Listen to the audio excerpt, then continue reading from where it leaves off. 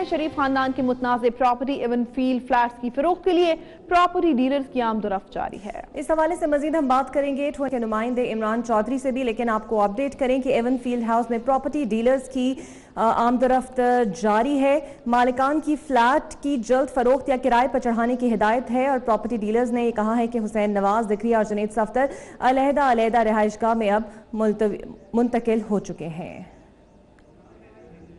تو Avenfield reference میں property dealers کی جو آمد ہے، اس کا سلسلہ جاری ہے۔ پراپرٹی ڈیلرز کے مطابق اس کو فروخت یا فروخت یا کرائے پہ چڑھانے کی آپشنز جو ہیں وہ موجود ہیں۔ ایون فیلڈ فلیٹس کو اب فروخت کرنے کا ارادہ کر لیا گیا ہے۔ مزید ہم بات کریں گے، عمران چودھری ہمارے ساتھ موجود ہوں گے۔ عمران اپڈیٹ کیجیے گا۔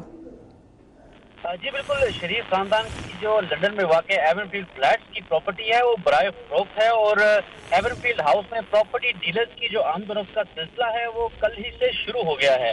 نواز شریف کی روانگی سے قبل جو اس معاملہ کی کشیدہ صورتحال تھی صورتحال تھی اور پرسوں کا واقعہ جو جنید صدر اور ذکریہ شریف کے معاملہ میں دیکھنے میں دیکھنے میں آیا، اس کشید کی وجہ سے اس پراپرٹی کو خرید و فروخت کا معاملہ جو ہے، وہ زیر غور لایا جا رہا ہے۔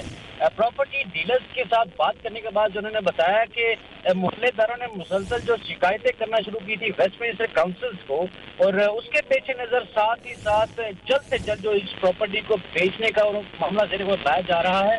اس میں ایک معاملہ یہ بھی ہے کہ اگر جلد سے جلد پراپرٹی کو سیل نہ کیا گیا تو اس میں کرائے پر چڑھانے کی جو صورت ہے اس پہ بھی غور کیا جا رہا ہے۔ جی۔ ٹھیک بہت شکریہ۔ عمران، اس حوالے سے ہمیں ہم تیٹ کر رہے تھے مالکان کی فلیٹ خریدنے یا کرائے پہ چڑھانے کی جو آپشنز ہیں وہ زیر غور آ رہے ہیں۔